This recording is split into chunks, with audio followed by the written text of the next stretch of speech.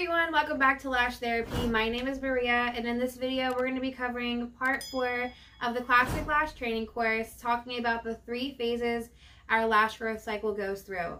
You're probably wondering why this information is important to know. If you have already been lashing for a while, you may have experienced clients reaching out to you in a panic, saying they lost maybe one or two lash extensions after a couple of days of the service.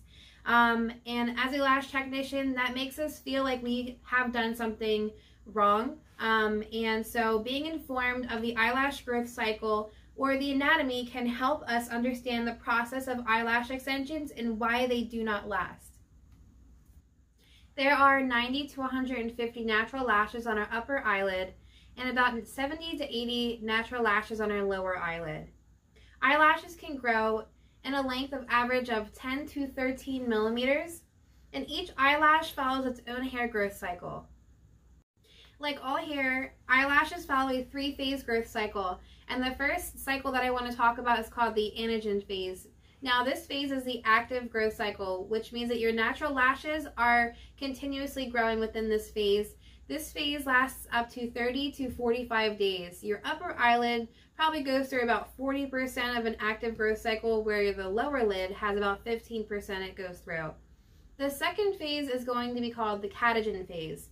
Now this phase is when the follicle shrinks, which is the hair follicle, and this can last between two to three weeks. And lastly, the telogen stage. And this is the resting phase and can last over 100 days before the eyelashes start to fall out or potentially shed. Each natural lash goes through its own cycle.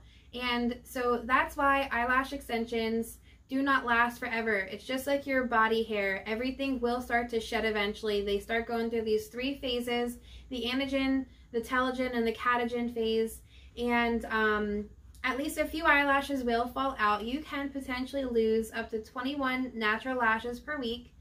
So this kind of results back to what I was saying before in the beginning of the video, when you do have um, clients contacting you after a couple of days, panicking, saying that they lost one or two lashes, even a few lashes.